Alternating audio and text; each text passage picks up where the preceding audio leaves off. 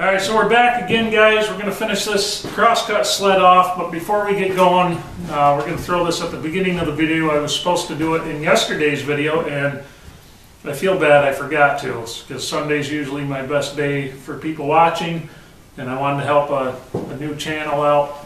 Uh, Billy Bob Lockwood, 20-year-old kid, already owns his own business, a uh, excavating business out in the Pacific Northwest has a beautiful wood shop, 20 years old. This kid is a worker.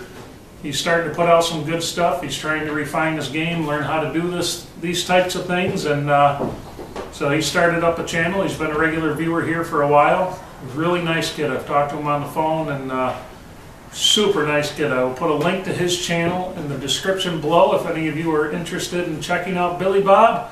Say hi and tell him Jim sent you. So, anyway, now we've Shouted out Billy Bob. I like Billy Bob. What a good kid. So anyway, we're going to start by putting our front fence on this thing tonight. Last night we worked on getting getting the sled to at least slide in here. And that's why this ended up being a two-part video because that just took quite a while for me to get that shaved down. It's a slow boat to China, but like I said, that is what's going to make you a really accurate crosscut sled it could look like a million bucks, but if things are out of whack on it, it's not going to work for you. Things are going to be out of square. Your cabinets or whatever it is you're building aren't going to come out very nice. And you're going to be pissed about it. You're going to kick your dog, yell at your kids, whatever it is you do when you get frustrated. I tend to yell at my kids because it makes me happy. So anyway, we're going to start putting the front fence on. Then we're going to use two screws to put the back fence on. I'm going to use Kreg screws to attach the front fence. We're going to set it in three quarters of an inch because we're going to put a poplar face on the front of it and with kind of an arch on it. The reason we do that, these fences are only two and three quarter inches tall. So if I go with a pretty wide cut on there, remember you're cutting this piece of plywood right down the middle where the saw blade is. So you gotta have something to support it on both sides. Otherwise it's gonna be doing this on you when you're pushing it through. It's not gonna be very stable. So these are, you know, by the time this is all said and done, these end up being an inch and a half thick. It's two pieces of three quarter inch birch ply or maple plywood glued together. And I put screws in for the glue up, free up some clamps. And these are going to be coming out so that we can put our poplar boards on the front of it. Now what we'll do, this will go on here. We're going to Kreg it down from the front side. I'll probably put a couple along the back side here and we're going to go from there. I'm going to show you a trick with a Kreg jig. They're putting in pocket holes that will keep things a little more lined up for you, make it a lot easier. So anyway, stay tuned. Hope you enjoy it, and I'll see you on the other side of it.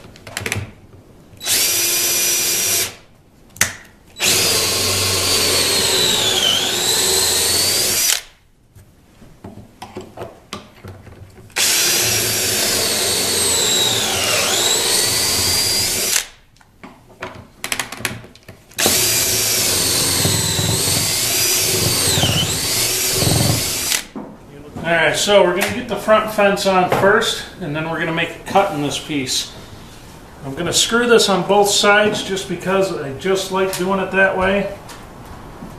So I'm going to try step this back a quarter of an inch because I want to put a piece of poplar face on the front of this. Now keep in mind, whenever you're using the Kreg screw system, to put this stuff together, it is going to move on you. So just to give you a fair warning, what I do, I moved it out about a 16th of an inch.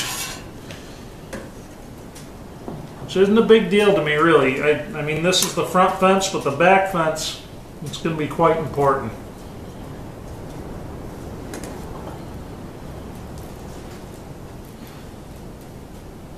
So just work it down. Pretty consistent how far ahead it moves it.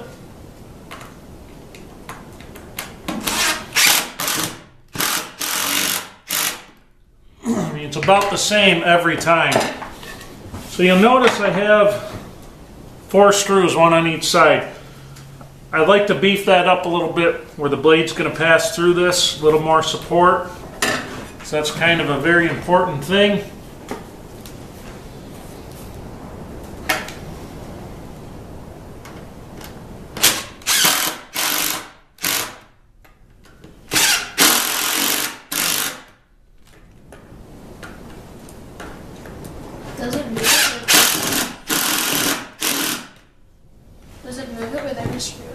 Yeah.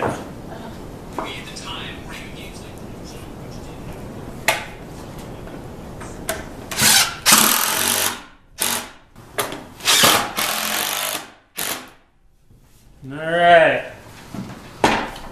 So that glued and screwed on there, that should never really go anywhere. Of course, famous last words. Shouldn't. Shouldn't, that's right.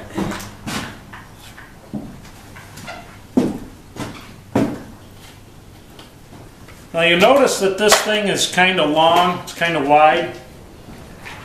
I like it like that because I want I want as much support I want as much support under that board as I can across. It just makes everything a little more accurate. You can see how nice and strong that is right there.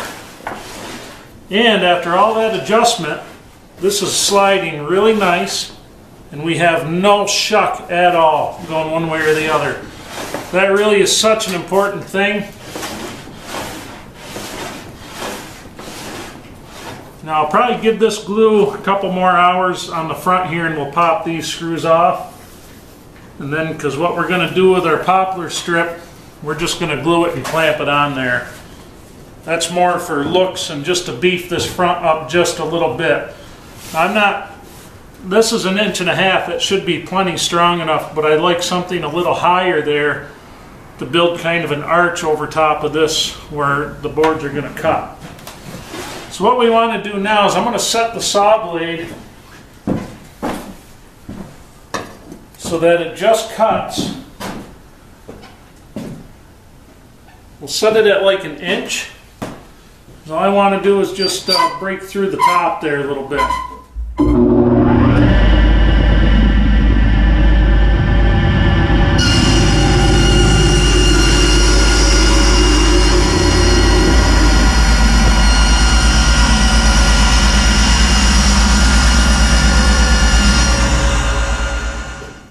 Okay, so here is the absolute most important step of the entire process.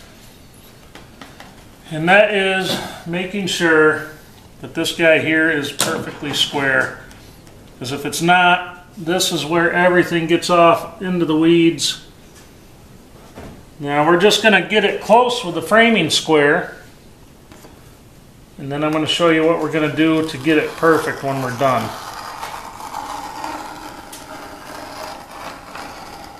Really, really starting to like this marking knife.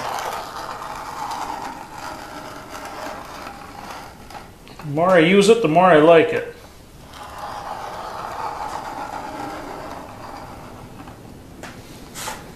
Okay. So we have a nice line across there. And guys, remember how I told you earlier that when you're putting in the Kreg screws, if you're using pocket holes, it's going to move the piece on you pretty well. So this is kind of what I do to avoid that while I'm trying to put something like this together. I just get this right on my line. And it helps if you have a really good straight board. And this one's pretty fresh off the table saw. And you'll see if it's not straight because it'll start messing with your, uh, your line won't match up to the kerf on it, or to the, uh, geez, I can't talk. Your line won't match up. That's what I'm trying to say.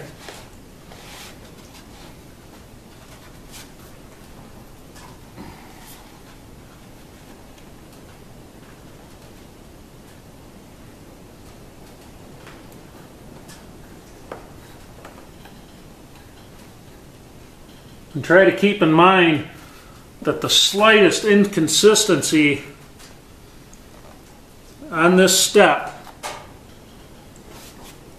will have major implications moving forward with how well this sled performs. And all we're really concerned with here is getting it close.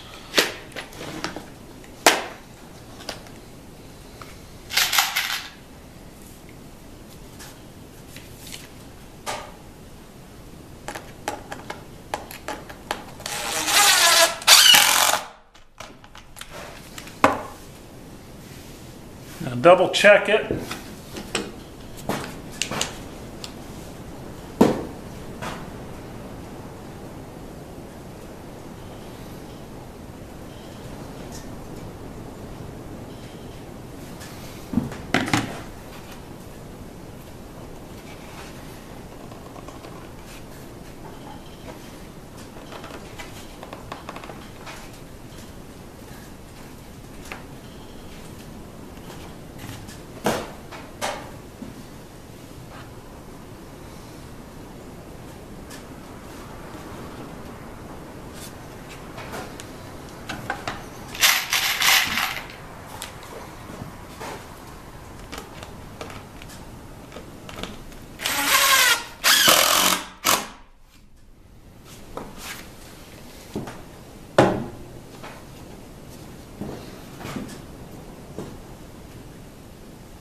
That's really nice.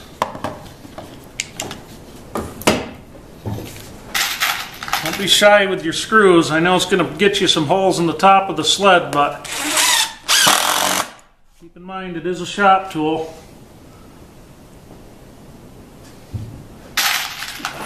Now I'm being really fussy with this right here, but chances are, chances are we're going to have to adjust this anyway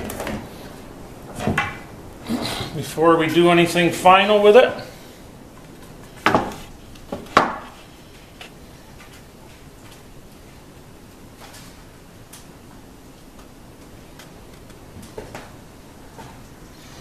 Not too bad. Now let's get some holes drilled in this thing. We'll start with just a couple and then we will go from there. Okay, so we have our fence on here and what I did, I just I did the pocket holes and the screws off camera. There's only four screws in the length of this fence holding this in right now because we need enough room. I didn't put them all in in case we have to adjust it. So anywhere I had double holes, I put a screw in one of them.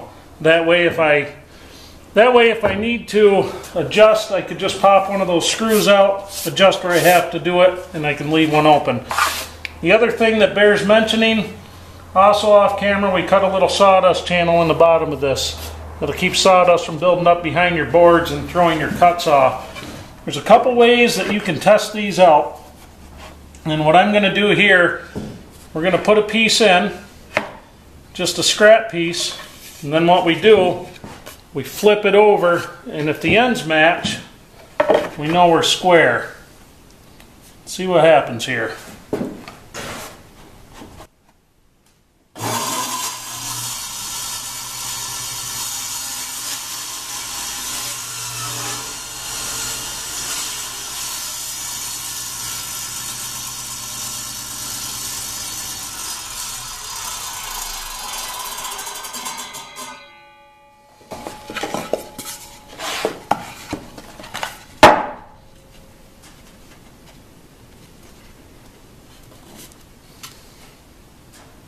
They were right on. Oh.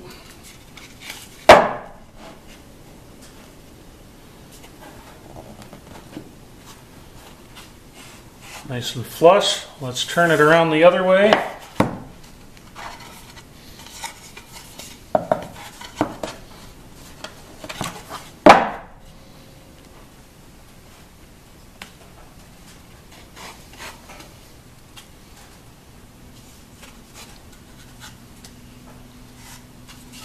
No way we got it that good that the first time. No way in hell. So let's discuss this cross-cut sled and its design and what we are doing here. Now, this is a very, very simple cross-cut sled. It's very easy to build. Now you saw me check and recheck and check and recheck that test board because I just couldn't believe that on the first shot it came out that square. I've never had one come out exactly where I want it the first time. Never. That is not something that often happens. It's usually one of those things where you sit there and you fiddle with it and you fiddle with it until you get it exactly where you want it. The big thing is you just go around, look for daylight. If you don't have any daylight, Doing really well. Because little little bits can really can really throw you off. So I'm, I'm actually quite quite happy with that. So anyway, so a couple of the easy features of something like this is, like I said, there's really not much to it. I keep this fence a little low. It's easier for me to put a clamp on for stop blocks if you're doing repetitive cuts. When you're doing the cabinet work, I like to do as many of the repetitive cuts at once as I can. I make my back fence very beefy because this is what I'm pushing on all the time. I also like to, you guys saw what I did with the, uh, the rails that go on the saw last night. Now what's nice about these, that right there, that kerf right there makes you pretty much a zero clearance. So when you're cutting your hardwoods out, you're getting extremely minimal chip out on the backside without having to use tips or tricks like painter's tape, things like that. I make a little bit of a wider piece to go over the back. It gives it a little more stability because remember you're cutting, your blade is going to go through this fence. And I try to, uh, I just like want everything as rigid as I could possibly get it. Now, it's not a panel cutter or anything like that, but it, it certainly will work very nicely for my needs. And that's what we're going for. Now another method that you can do to find square with one of these